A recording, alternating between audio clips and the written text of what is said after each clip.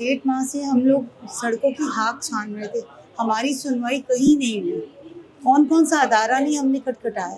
लेकिन जब भी हम लोग यहाँ आए, तभी हमारी सुनवाई दस से पंद्रह मिनट में हुई।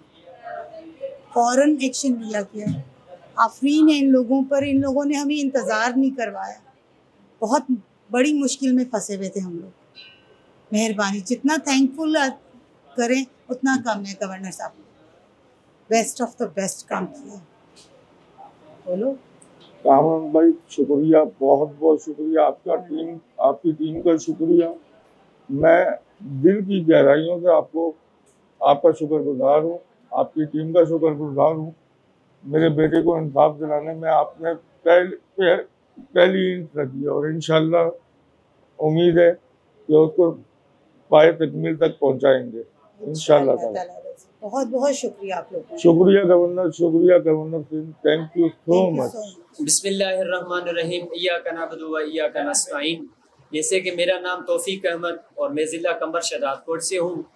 और कराची यूनिवर्सिटी में मेरा फोर्थ सेमेस्टर है सेकेंड ईयर में हूँ।